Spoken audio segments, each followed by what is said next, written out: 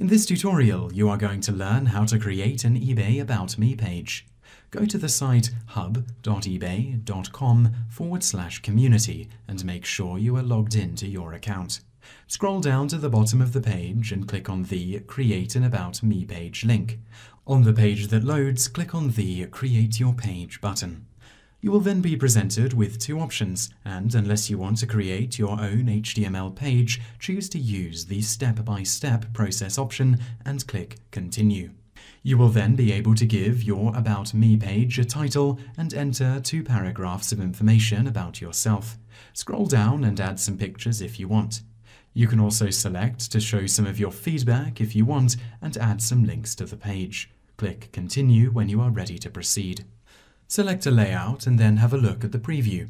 If you like the result, click Submit and your About Me page will have been created. You can then follow the web address link on this page to see your page live on eBay and that is how to create eBay About Me page.